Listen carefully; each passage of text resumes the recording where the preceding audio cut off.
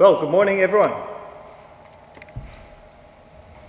Unfortunately, we still meeting online. I don't know if we call it meeting, but we get to still continue preaching God's word, listening to God's word, uh, praying. And so we're going to start this morning by again opening up our Bibles and we're going to start reading through the letter of Colossians. So I hope you're turning right now to the letter of Colossians. And we'll be reading the first 23 verses this morning.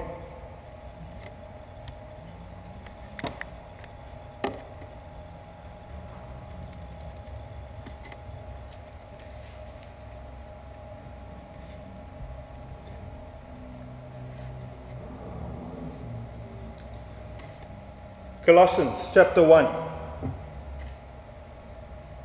Paul, an apostle of Christ Jesus by the will of God, and Timothy, our brother, to God's holy people in Colossae, the faithful brothers and sisters in Christ.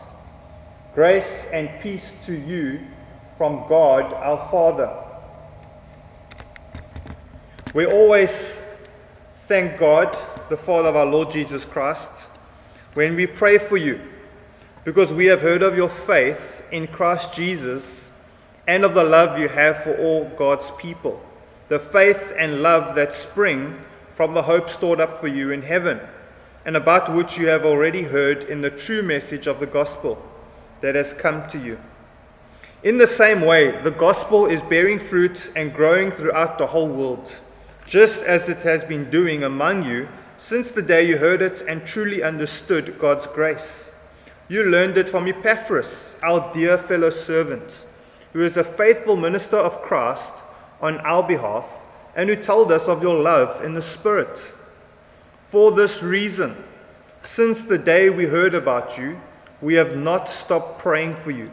We continually ask God to pray to fill you with the knowledge of his will through all the wisdom and understanding that the Spirit gives, so that you may live a life worthy of the Lord and please Him in every way, bearing fruit in every good work, growing in the knowledge of God, being strengthened with all power according to His glorious might, so that you may have great endurance and patience, and giving, thank, giving joyful thanks to the Father who has qualified you to share in the inheritance of his holy people in the kingdom of light.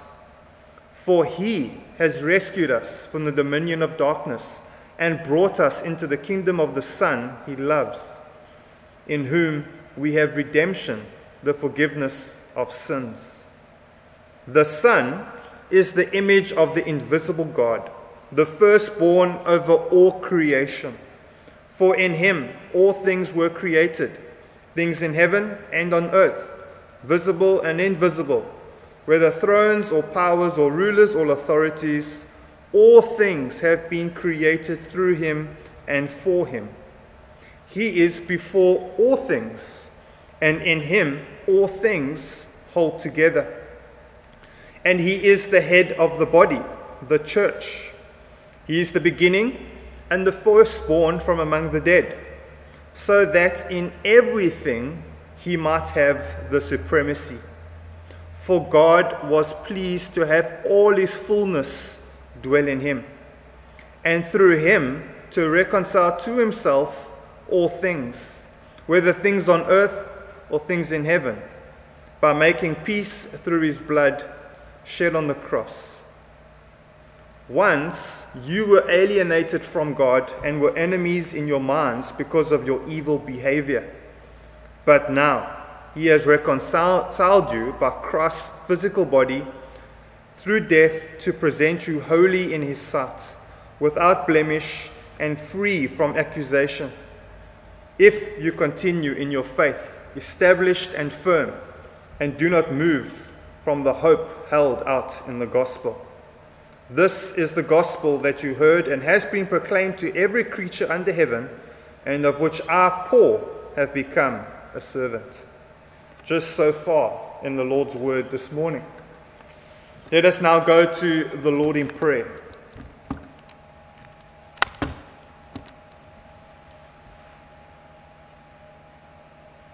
Our Father, in heaven, hallowed be your name. We give you joyful thanks this morning for qualifying us to share in the inheritance of the saints. It's you who have rescued us from the dominion of darkness and have brought us into the kingdom of your Son. In your Son, we have redemption, the forgiveness of sins. And it's your Son who is the image of God who has made all things and he is before all things. We know that he's the head of the church and has supremacy over everything. And in, in him, all things have been reconciled. He has made peace by the shedding of his blood on the cross. And so now we praise you, our Father, who is infinite in power and has unfailing love and who has given us your Son. We thank you and praise you for this this morning. And we would pray that your kingdom will come on earth as it is in heaven. We would pray that your kingdom would come in our own lives. May you, O oh God, fill us this morning with the knowledge of your will and understanding. Do this so that we might be able to live a life worthy of you, helping us to bear fruit also, Father, will you strengthen us? Strengthen us so that we might have endurance and patience and to give you joyful thanks. We also now pray that your kingdom come in our church. We thank you, Father, for the Beacon Baptist Church. We thank you for every member and adherent of this church. And we thank you for the display of faith in Jesus Christ and the display of the love for one another and for the hope that is set on heaven, all which has spr- sprung forth from the gospel. And now we also thank you for our pastors. We thank you for Mark and Michael, and for Neil and Brian, and for Ron. We thank you that just like Epaphras in, Coloss- in Colossae, who was a faithful servant of Christ, who taught the gospel, and we thank you for these men who do that for us. And we now pray that, that we pray that you uplift them this morning. We pray you continue to keep them fresh in you, continue to find joy in you, continue to serve us with endurance and love.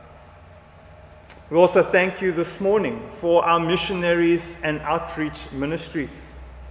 We know COVID 19 has brought challenges, has disrupted many ministry opportunities, and as well as affecting the pockets of the missionaries, because we know that the, the economy is being affected. And so we will pray that you continue to provide for each one, give wisdom to each, and creativity in order to find ways to continue ministering the gospel. And we pray that you would give them perseverance and that they too would continue to find joy in their Lord and Savior. And so we think now of those serving among the Amazioni. We think of Ron. We thank you for the service that he has given.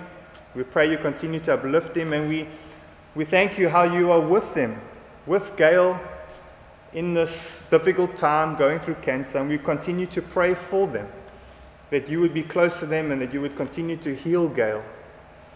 We think of the Goossens, we pray that you will continue to use Luan and Suzanne as they continue to minister. And we think of the Atkins in PE. We pray that Barry will be able to continue recovering from the shoulder up. We continue to pray for Nathan. Um, and we know that, yeah, he's got to go to the dentist and, and has problems with, with his teeth, we pray that you would, would help them. And we also thank you for the good news about Peter Jade. We thank you to see how you're working in her life and that you are, you are, and this is bringing much joy to the Atkins family. And so we thank you for that. We think of the mullahs in Malawi. Wow, how, how faithful they have been over 20 years in ministry in Malawi. And so we continue, you pray, we, we pray you continue to give them endurance. We also pray for Christine as she continues to mourn the loss of her father, especially being, you know, yeah, especially being difficult at this time just to be away from family. And so we pray you continue to comfort her and the family in this very difficult time. We think of the Meyrings in Japan. We pray that you would give them perseverance and encouragement. And as they confess, been very difficult to be away from family, especially now over Christmas. And so we think of them and they pray for the salvation of three contacts with their family. Um, and so we pray that you would bring these people, show the gospel to them. May they see the light of Christ. And we also pray for their financial support that's being affected during COVID 19. We think of the Duns up in America who are, tra- who are being, where Johnny is being trained for aviation ministry. We thank you for them, and we, we even thank you that for their, the birth of their daughter this year. And we pray you continue to um, bless them, continue to help, especially Tanya, as she raises a newborn while homeschooling her, the other two children. That's a very tough task, and so we ask you for, their, for your blessing on them this morning. And we pray that you continue to help them raise funds, especially as they try to meet targets for this year, to continue their training up in America. And we pray that John continues in his studies. We also think of the AIDS ministry. We thank you for Unati, who has such great concern for those involved, not just for their physical health, but also takes care and concern for their individual spiritual health. And so we thank you for her. We thank you for Pastor Sia and all he does and, and how he, he's faithfully taking the parcels to their homes at this time. We think of Bible Way for Livingstones. We know that it's very difficult at the moment with COVID, and in many ways, ministry is being halted. But I pray you continue to help them, continue to support them, and may they still be able to continue to serve you and take the gospel to people's life, into people. And we now, Father, pray that your will be done in our country. We, we pray for the, the South African National Christian Forum as they present this, their case this week in the courts about challenging the decision about closing churches. I pray you would give them wisdom and to lay down their argument clearly. And we pray that the government would hear them and to see uh, what they have to say. Father, we now pray that you would give us our daily bread. We know many are struggling, and we would pray that you continue to open your hands, you continue to provide for, for all of our needs, especially for the needy. And we also pray that we would be so kind for those who have in abundance. Pray that you would open our hearts to share with those in need. We also, Father, pray that you forgive us our sins as we also forgive the sins of forgive the sins of those who sin against us. We know that your word tells us to have no other gods before you and to have no idols. But we confess there is much in this world that we love, many created things that conflict with our desires for you, things that you have created, things that you have given to us out of your goodness but we turn many good things into idols. And so we think of things such as spouses and children and sport and delicious food and money and cell phones and so much more. We confess that we worship idols and other gods. But we'll pray that you would forgive us. We would, that you would forgive us, oh, oh Father, the one who's perfect and loving and who is the creator who's created all these things. May we give you praise and not created things. We pray, Father, that you would lead us not into temptation, but deliver us from evil. We recognize that we are so frail, we often fall into temptation. We are all like sheep that have gone astray. But please, O Father, our shepherd, lead us in the paths of righteousness. You who are faithful, will you strengthen and protect us from the evil one? And for yours is the kingdom and the power and the glory forever. In Jesus' name, Amen.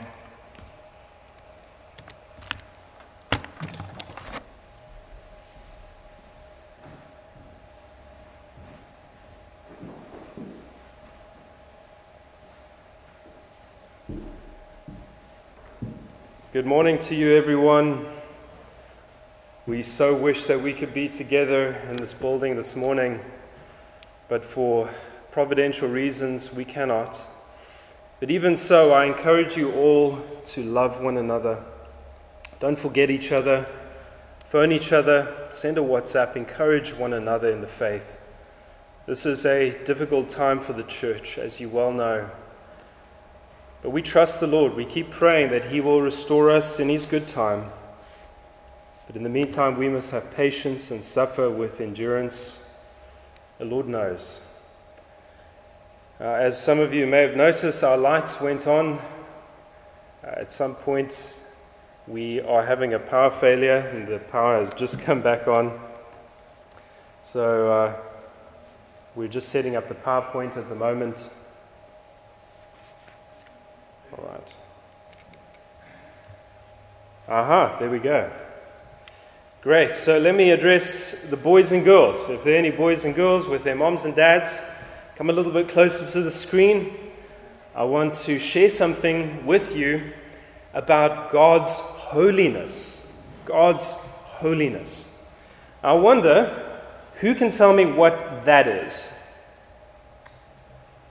That is a picture of the sun. Now, it doesn't look like that to us when we're standing here on earth, but that's what the sun looks like. Has your mom or dad ever told you not to look at the sun? I hope so. You must not look at the sun because if you look too long, it can actually damage your eyes. The sun is really, really bright. It's a big burning ball of fire. So the sun is really bright. And I want to tell you something interesting about the sun. The sun is really, really far away from Earth. This is kind of like how far it is, but it's much, much, much further.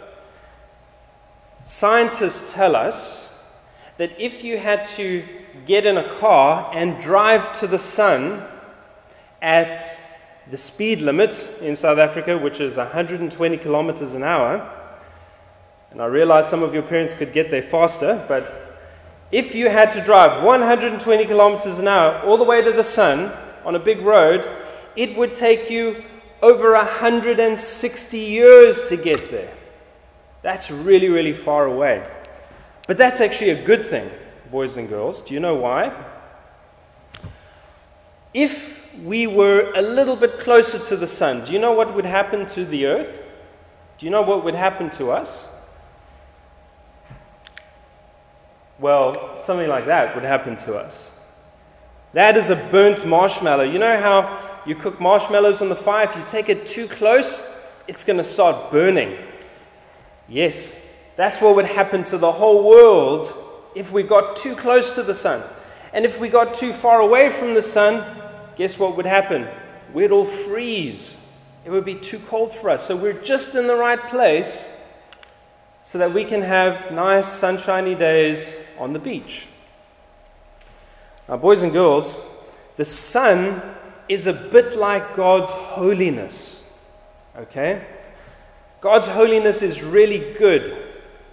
It's like the beautiful sunshine on the beach.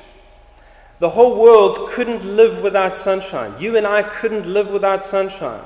No plants or animals could live without sunshine. So holiness is really good.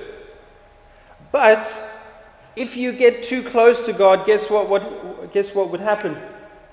You would burn up. Okay, because God is so pure, He's so great, it's kind of like getting too close to the sun. You turn into a marshmallow. The Bible tells us this in Hebrews chapter 12. I want you to look at this carefully with me. The writer to the Hebrews says, Let us be thankful and worship God with reverence and awe, for our God is a consuming fire, like the sun.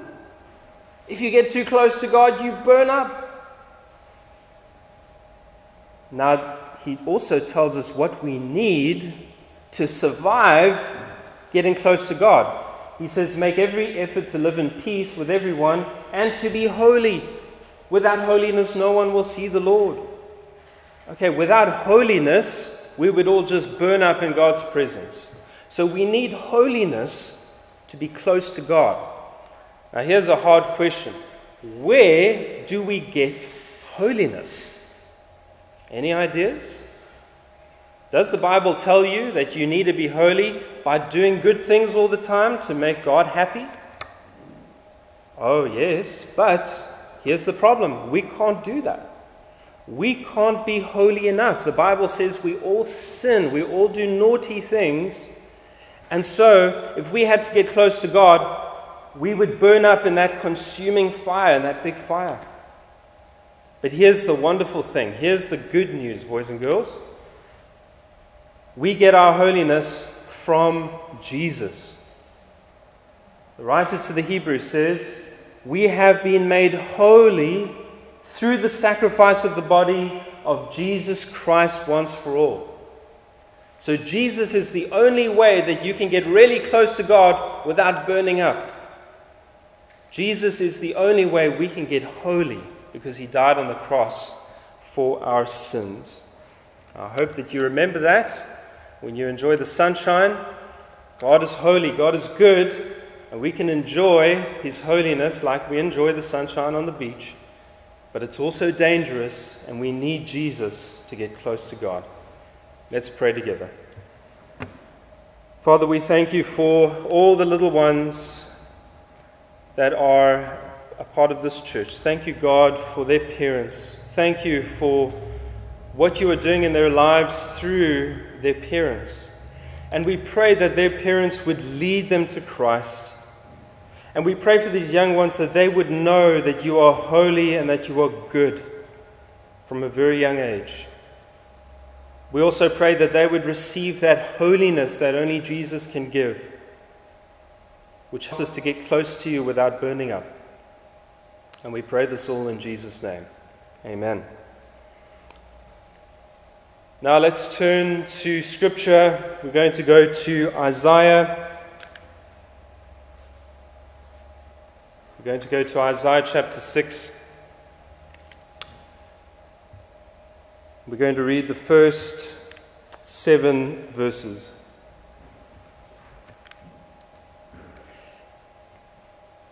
In the year that King Uzziah died, I saw the Lord sitting upon a throne, high and lifted up, and the train of his robe filled the temple. Above him stood the seraphim. Each had six wings. With two he covered his face, and with two he covered his feet, and with two he flew. And one called to another and said, Holy, holy, holy is the Lord of hosts. The whole earth is full of his glory. And the foundations of the threshold shook at the voice of him who called, and the house was filled with smoke.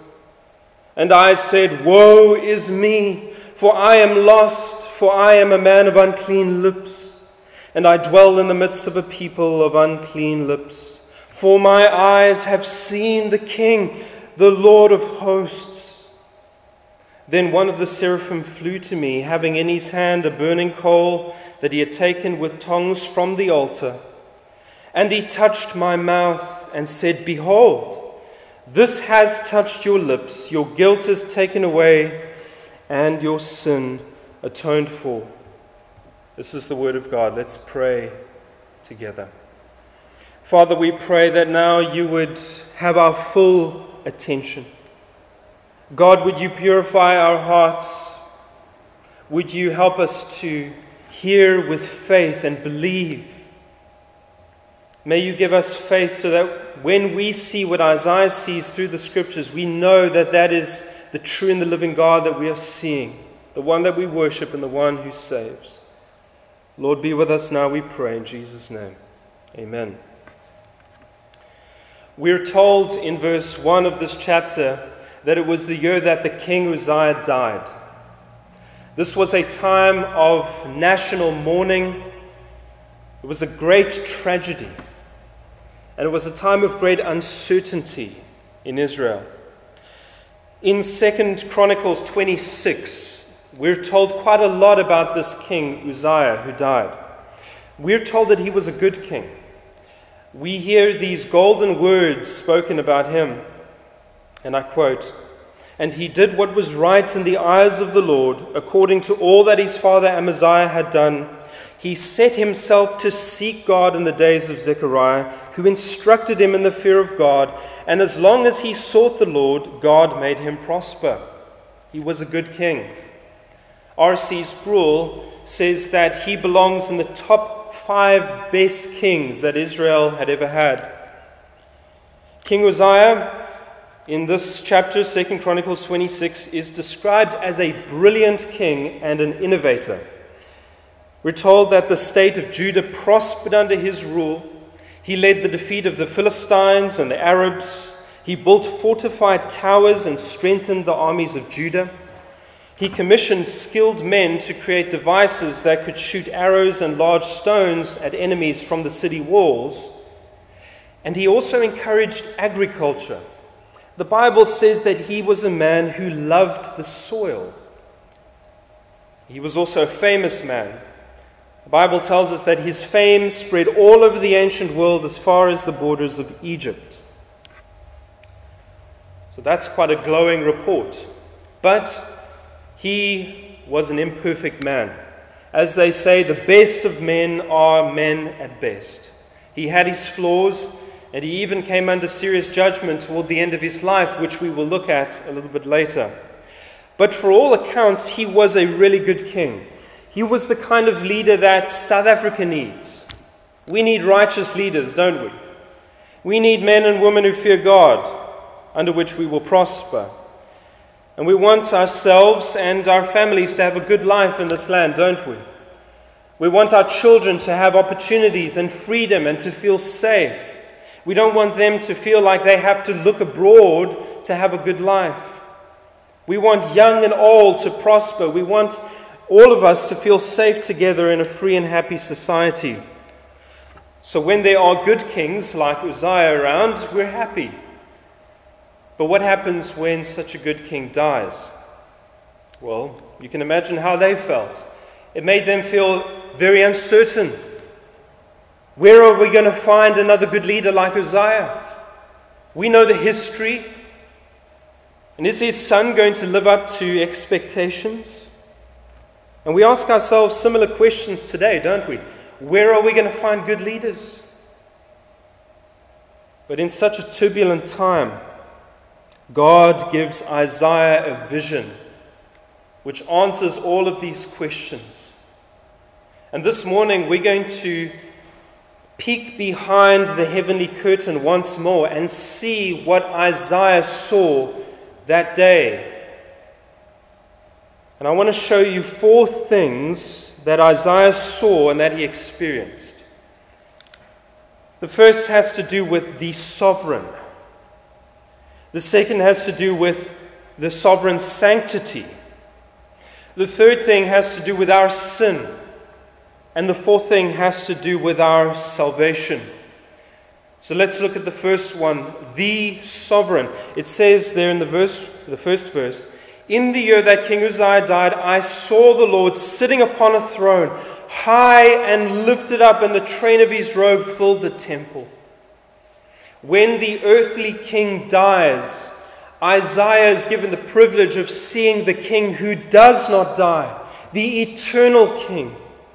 And not just any king, he sees the King of kings, the Lord of lords, the one who is above all other the one who is the true king on which every other earthly authority is based.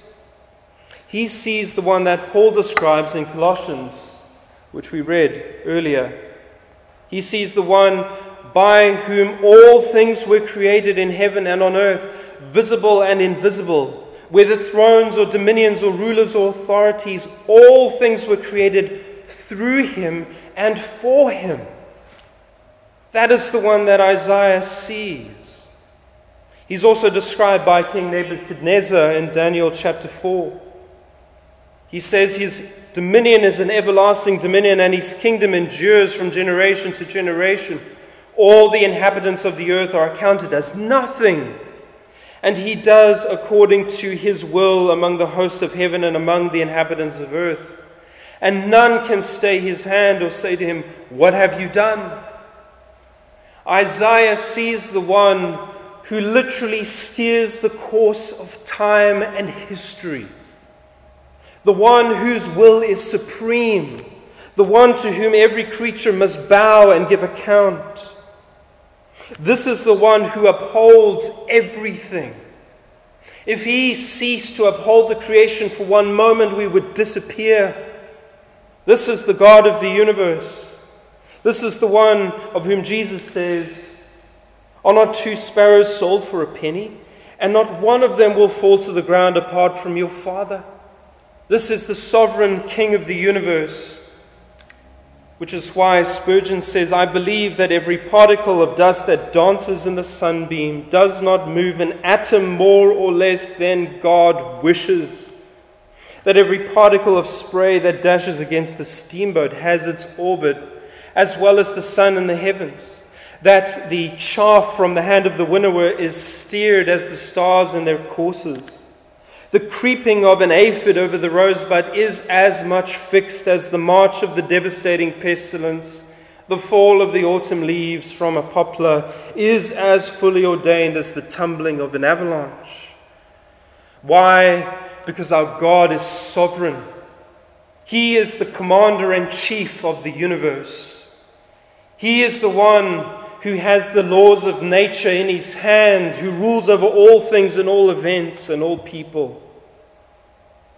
So, what does this mean to us, brothers and sisters? What does this mean to us when we are looking for good leadership in this land or in our lives? Well, here's the answer the direction that you so desperately yearn for in your life and the order that you so desperately need to organize your chaotic life is not to be found in this world. The order comes from above. You need to look up. We need to look up. We need to see what Isaiah saw, and we need to submit ourselves to this king. We need to stop looking down. And you might say to me, you know, your life is, is just falling apart, and your family is suffering, and the economy is going to pieces, and everything's just falling apart. Well, you know why? It's because we don't look up. It's because we do not come under the authority of this one who is high and lifted up. If only we did, if only we did, and things would come right. We need to look up and our government needs to look up. And our schools and universities and families need to look up to the one who is high and lifted up. So, what is this all powerful one like in his character? I mean, we're living in a day and age where people are becoming more and more uncomfortable with power, aren't we? I mean, look at the scandal of the government of South Africa. Look at the scandals of world governments. Look at the history of power in this world. It's not a very bright and happy picture, is it? So people are becoming increasingly skeptical. They say things like, power corrupts and absolute power corrupts absolutely. People are becoming increasingly hostile toward authority. And you see the skepticism all over, even in countries like the so called leader of the free world, the United States of America. Look at the circus going on there at the moment. But what is this leader like? Is this one who is high and lifted up any different from the ones that we see in this world? And the answer is absolutely yes. He is so different that we can hardly understand it. And this brings us to our next point here his sanctity. It says in verse 2 and onward Above him stood the seraphim. Each had six wings. With two he covers his face, with two he covers his feet, and with two he flies. And one called to another and said, Holy, holy, holy is the Lord God of hosts. The whole earth is full of his glory. And the foundations of the threshold shook at the voice of him who called, and the house was filled with smoke. I want you to notice the posture of these angels around this being, this God. Their entire posture is designed to glorify God. Their entire posture is designed to hide themselves and magnify this Holy One. We're told that they cover their faces. Now, as I explained to the boys and girls earlier, these angels look at God much like we try and look at the sun. It's unbearable. And so they have to hide their faces so as not to be blinded or destroyed by the very sight of God. They're not like people in our day and age who, when we find someone great, we want to take a selfie with them, right?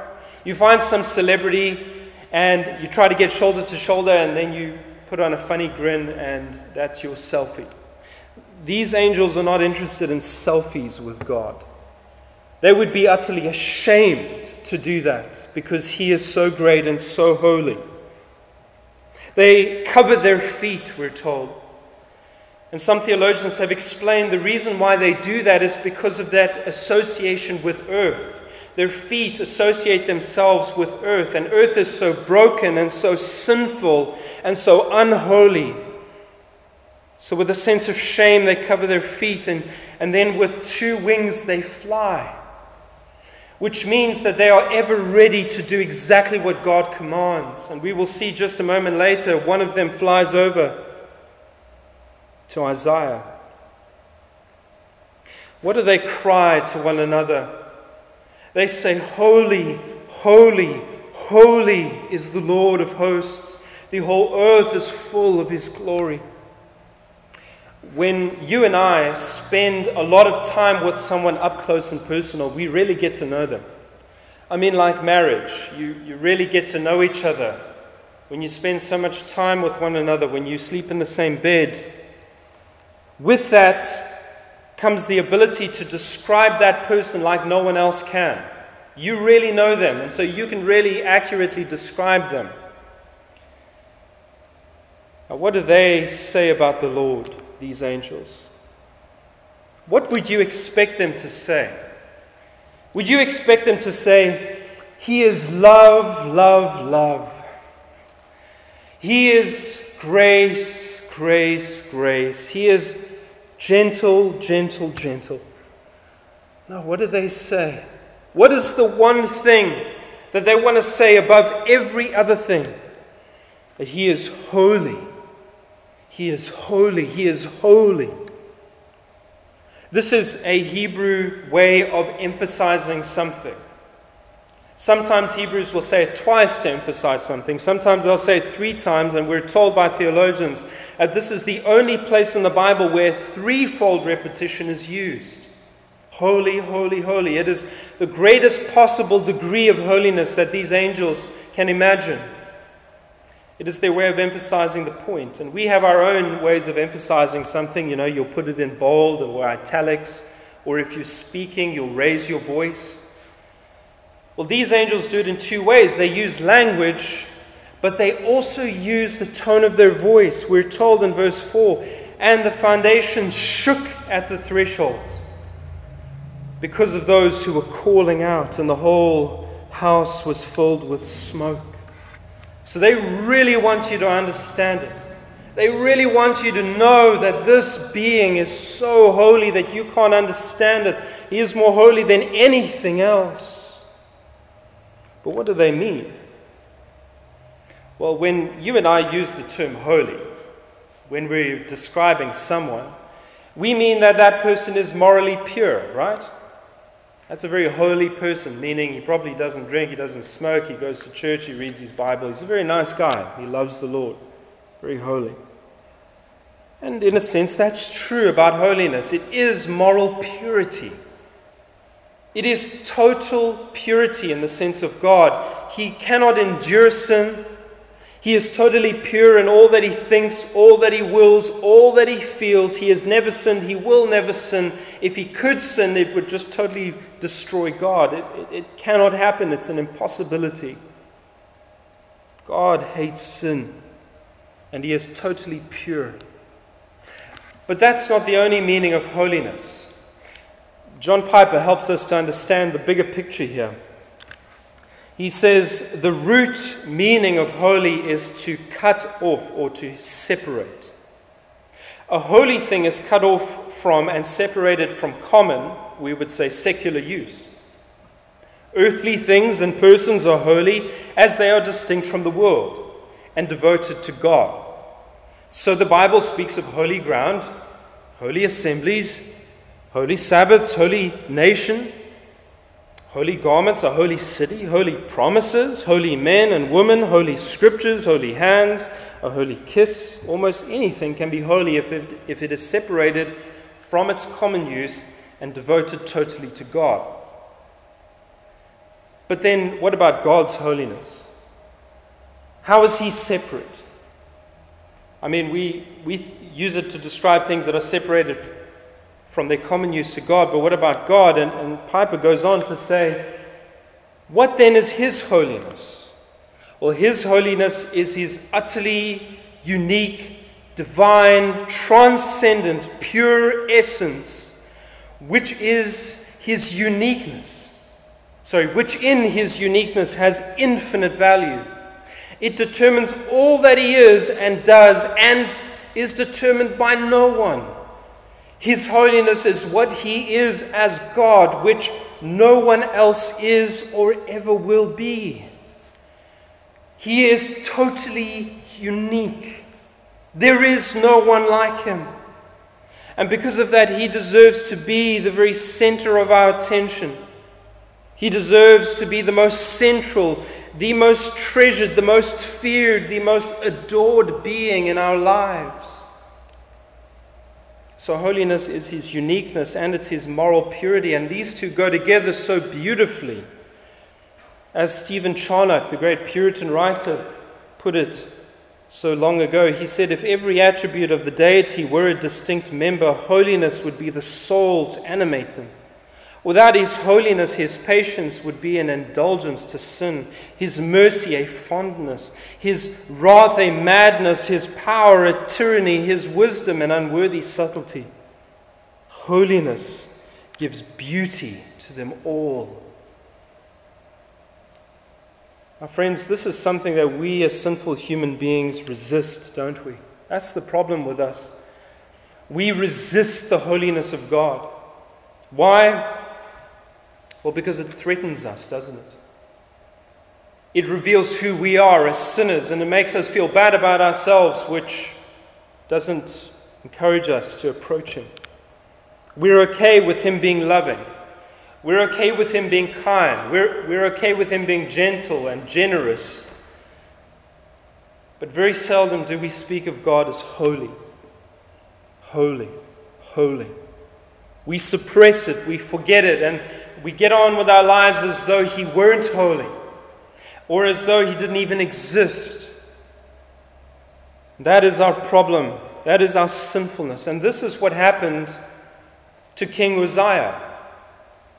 I want to illustrate this by turning to 2 Chronicles 26 from verse 16 onward. We read this about Uzziah. But after Uzziah became powerful, his pride led to his downfall.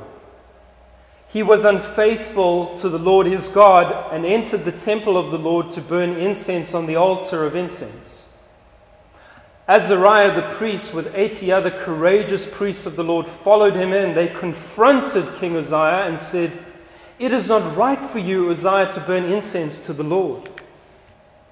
That is for the priests, the descendants of Aaron who have been consecrated to burn incense.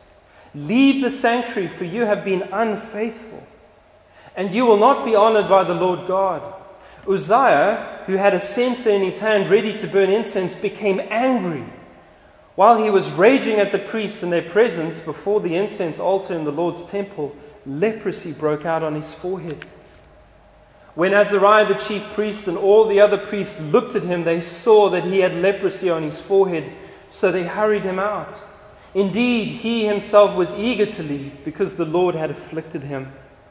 King Uzziah had leprosy until the day he died. He lived in a separate house, leprous and banned from the temple of the Lord.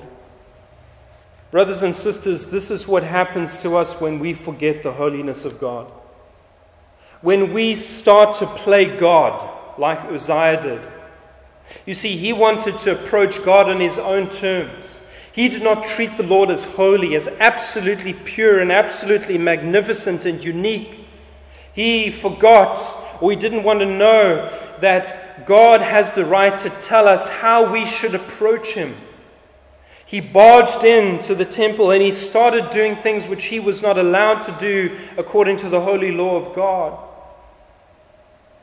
And he died alone and a leper. That is a picture of the judgment which we deserve for not treating God as holy. And I wonder is this a picture of your life? Are you playing God? Are you treating God as some sort of equal? Do you think that you can honestly manipulate Him and tell Him what He should do for you? Or do you fall flat on your face and worship? We should be like the angels, like the seraphim, rather who have this magnificent posture, always ready to worship God, always ready to serve Him, and ashamed to look at Him. We should have their heart, and not the heart of King Uzziah in his later life. And I wonder could you sing with them that song of heaven, Holy, Holy, Holy? Could you sing it with all of your heart? Could you sing it full of the fear of God? Or are you singing another tune about God that is not right about Him? what effect does this all have on Prophet Isaiah being in the throne room of heaven? This brings us to our third main point our sin. This whole experience convicts Isaiah of his sinfulness. Look at his reaction in verse 5. And I said, Woe is me! for I am lost. For I am a man of unclean lips, and I dwell in the midst of a people of unclean lips, for my eyes have seen the King, the Lord of hosts. It's amazing. His reaction is very similar to Simon Peter's reaction much later on when Simon Peter realized who Jesus was. Remember how Simon said, or he fell at Jesus' knees and he said, Depart from me, for I'm a sinful man, O Lord. And you would expect that of Simon. But you wouldn't quite expect that from Isaiah. You wouldn't expect Isaiah to say, I am lost and I have unclean lips. Why? Because he was a prophet of God, one of the greatest prophets in the Old Testament. You might think this is hypersensitive. I mean, this is just blowing things out of proportion. Isaiah, you're not lost. Isaiah, you don't have unclean lips. And besides, there are worse things than having unclean lips. I mean, who doesn't slip out a swear word every now and then? Surely there are worse things like adultery or murder or theft or idolatry. Don't worry about the small things. Unclean lips. What's that? But, friends, it's the other way around. When you get close into the presence of God, it reveals everything about you. And you become extremely embarrassed over the smallest thing, the smallest little thought, the smallest little action, the smallest little word that is wrong. You would be utterly ashamed of yourself. And that is how it should be. The closer you get to God, the more you see of your sin, of your unrighteousness. And that's how it should be. But we're living in a world which denies this sinfulness of human nature. We're living in a world which would look at Isaiah and say, Calm down, Isaiah, it's not so bad. You're actually a good guy.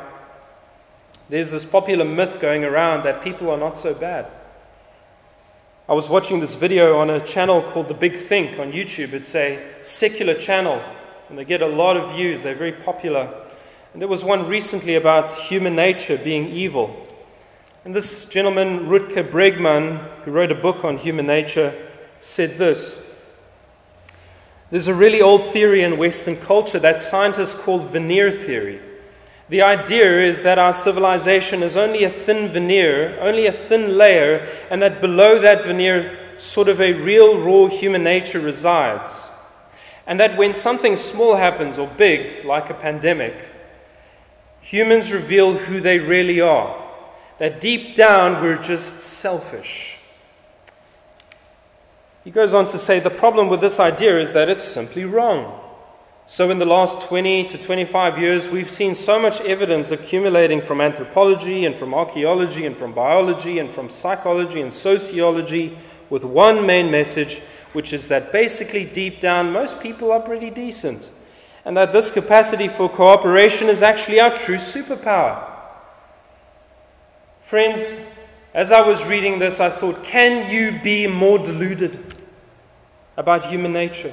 Can you be more ignorant? Can you be more deluded and dishonest about human nature? Does this man know who he is before God? Obviously, he doesn't. If he had to just have a moment in God's presence, all of this nonsense would blow away like chaff before the wind. He would be ashamed of saying this. Why does he say this? Well, it's because he has such a low view of the holiness of God. This is not what God sees in us at all. He doesn't see a superpower among us of cooperation and love. I mean, just look at the history books, look at the world in which we live in.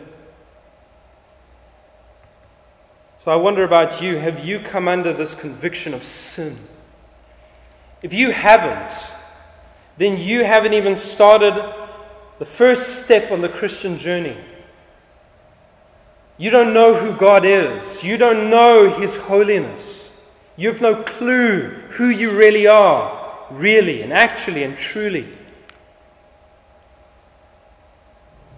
But if you have come under this conviction of sin, I'd like to remind you that this is not just a once off event. This is not something that happens way back when you were a pagan and then you were convicted of your sin and now you're fine. We're talking about Isaiah here, who walked with the Lord, who was a prophet of God, who saw more than what you would ever see of God in this lifetime. And he says this about himself He says, Woe, I'm lost. I'm undone. I'm falling apart at the seams. If it's true of him, then it's true of all of us. You might wonder, well, you know, I, I don't think I've sinned in a while. Surely I'm not as bad. Well, brother or sister, if only you knew what you should be doing for God and your fellow man, then you would fall flat on your face in shame. If only you knew the things that you were leaving out because of your selfishness and your convenience and your laziness, you would be utterly ashamed. And that's not even to mention the things that you do which you shouldn't be doing. We are no better. If we had to come into the presence of the Lord right now, we would all face the same thing. We would all experience the same if we were truly honest. But does the Lord leave him alone in this state? Does he just leave him cowering, ashamed? This brings us to our last point our salvation It says in verse 6 Then one of the seraphim flew to me, having in his hand a burning coal that he had taken with tongs from the altar. The altar was a place where offerings were, were placed. It looked something like this, if you can see that. It was a place where innumerable burnt offerings were made to God, where the carcasses of animals were thrown onto the coals and burned up it's a picture of two things.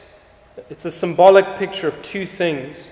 The first is of God's wrath, the second is of God's grace. What about wrath? Well, wrath is like the fire on the altar. It is the consuming anger of God against sin. Our God is furious with sin and with sinners. His instinct, his holy instinct, is to lash out and to destroy and to consume like fire.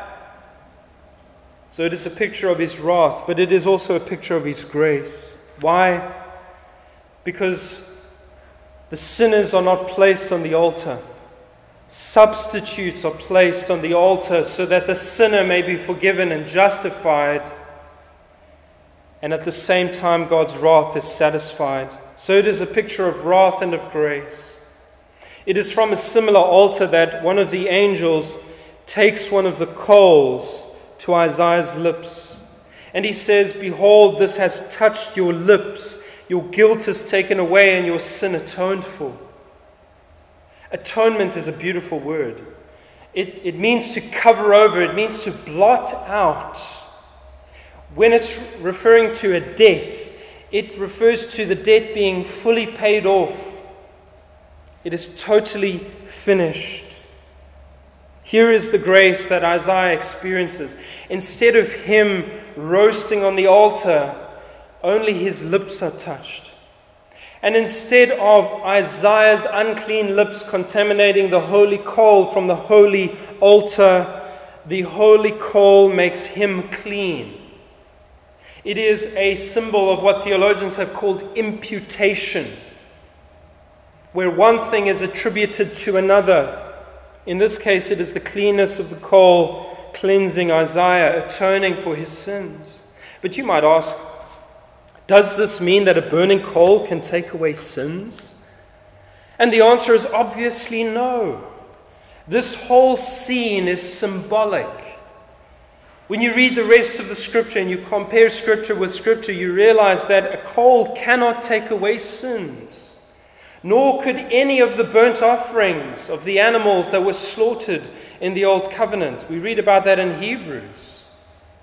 The author of Hebrews tells us that we know that animals can't take away sins because they keep on offering them again. It shows that the problem hasn't been solved.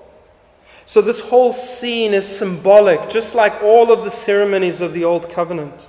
It's pointing to something greater. Now you might ask, what is that greater thing that this is pointing towards? Well, Isaiah tells you. He is the same prophet who wrote down Isaiah chapter 53. And that wonderful chapter has this in it. But he was pierced for our transgressions, he was crushed for our iniquities. Upon him was the chastisement that brought us peace, and with his wounds we are healed. All we like sheep have gone astray. We have turned every one to his own way, and the Lord has laid on him the iniquity of us all. He was oppressed and he was afflicted, yet he opened not his mouth. Like a lamb that was led to the slaughter, and like a sheep that before its shearers is silent, so he opened not his mouth out of the anguish of his soul, he shall see and be satisfied. By his knowledge shall the righteous one, my servant, make many to be accounted righteous, and he shall bear their iniquities. It is so clear that God's final plan to deal with the sins of his people would come through the Messiah and we know his name is Jesus of Nazareth. So you might ask, well, how was Isaiah forgiven? Was it a real forgiveness? And the answer is yes. Isaiah was really forgiven. He really had atonement for his sins, but it was taken on credit. Just like we use our credit cards and we pay the debt later on. So the saints of the Old Testament's forgiveness was taken on credit. Why? Because one day the debt will, would be settled by Christ on Calvary. Isaiah knew that. He prophesied that the Messiah would do that for him. It's just as Paul says Later on in Romans 3, for there is no distinction, for all have sinned and fall short of the glory of God and are justified by his grace as a gift through the redemption that is in Christ Jesus, whom God put forward as a propitiation by his blood to be received by faith. This was to show God's righteousness because in his divine forbearance he had passed over former sins. It was to show his righteousness at the present time so that he might be just and the justifier of the one who has faith in Jesus. And so, this is the gospel that Isaiah knew and experienced even in the throne room of heaven so long ago. It's as Timothy Keller puts it so well. The gospel is this we are more sinful and flawed in ourselves than we ever dared to believe. Yet at the very same time, we are more loved and accepted in Jesus Christ than we ever dared. So let me ask you this morning do you know this Savior?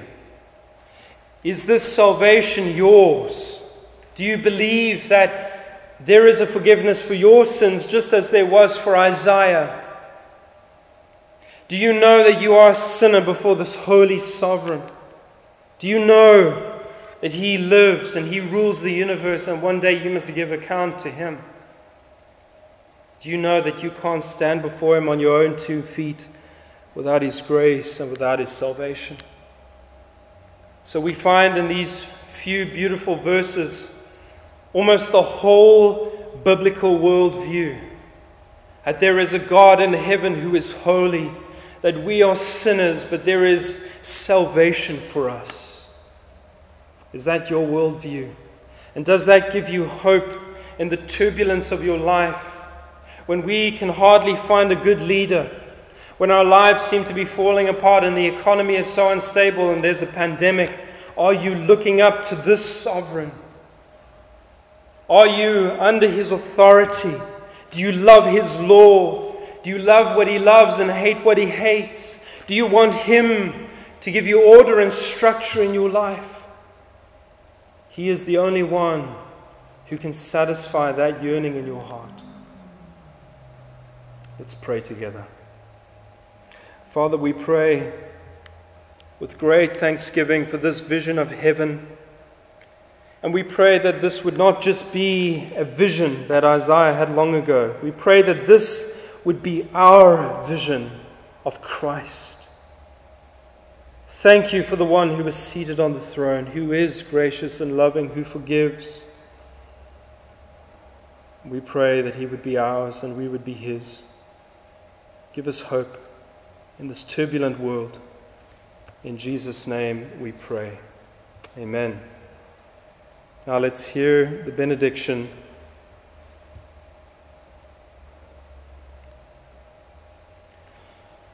Now to him who is able to keep you from stumbling and to present you blameless before the presence of his glory with great joy. To the only God our Savior, through Jesus Christ our Lord, be glory, majesty, dominion, and authority before all time and now and forever. Amen. Grace to you all. Bless you.